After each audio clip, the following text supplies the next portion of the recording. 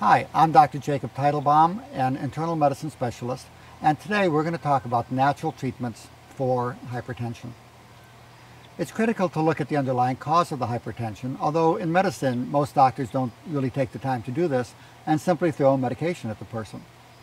But here are some simple things you can do that can help bring your blood pressure down and decrease or eliminate the medication. Now let's start with the nutritional support. Number one, magnesium, calcium, and potassium are critical, those three. Uh, these are minerals that help the blood vessels to relax and to help the blood pressure go down.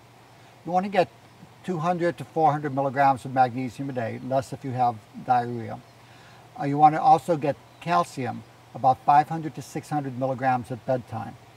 If you don't need calcium, you don't want to take it. The research has shown that people who take calcium unnecessarily have an increased risk of heart disease. But for high blood pressure, 500 to 600 milligrams at bedtime, uh, preferably one that's chewable and contains vitamin D, can be helpful. Also, potassium is very important and tends to be low in the American diet. You can either take a pill that has 10 to 20 milliequivalents, but what I recommend is a 12 ounce can of V8 juice and one banana each day.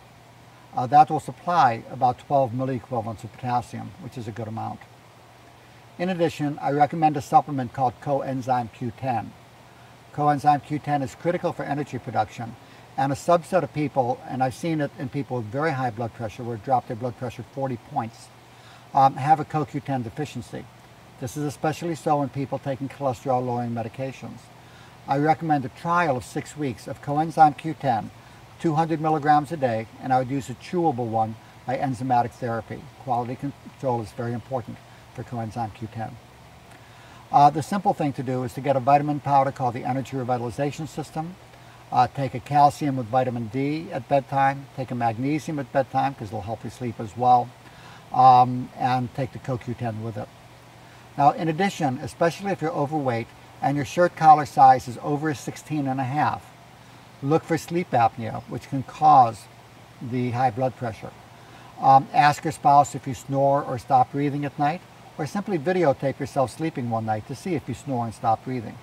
If you do, ask your doctor for a sleep study because the sleep apnea treatment will not just help lower blood pressure sometimes, but will help you feel much better during the day.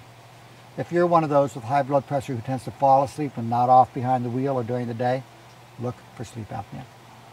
So these are some natural things you can do that are very compatible. You can take them and do these treatments with the medications that you're taking.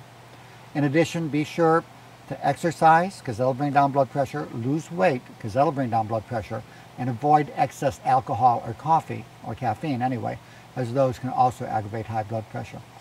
So these are some natural things that can help normalize your blood pressure. I'm Dr. Jacob Teitelbaum, wishing you great health.